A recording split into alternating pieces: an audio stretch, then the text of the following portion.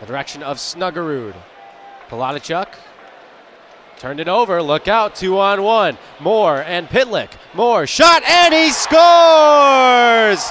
Oliver Moore buries the two on one, and it is Minnesota who strikes first. and buries it in the back of the net. Dexheimer was back there, but yeah, easy two on one opportunity there for the Golden Gophers. Draft choice of the St. Louis Blues, Jimmy Snuggerud. 18 goals this year. Another cover up here by McClellan.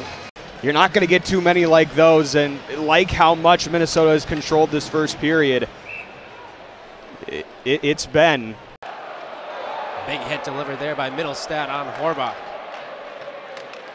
All the way across Moore. Shot saved by McClellan, and he'll cover. And now possession for the Badgers. It's Finley. Right side cuts to the inside, drops it off Lindmark. Shot, and that one's blocked by Rinzel, and that looked like it hurt him a little bit.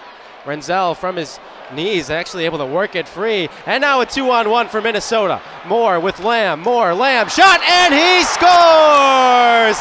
Overtime winner for the Golden Gophers. And they take game one by a score of two to one. keeping Kyle McClellan clean out front. They're going to have to go into tomorrow.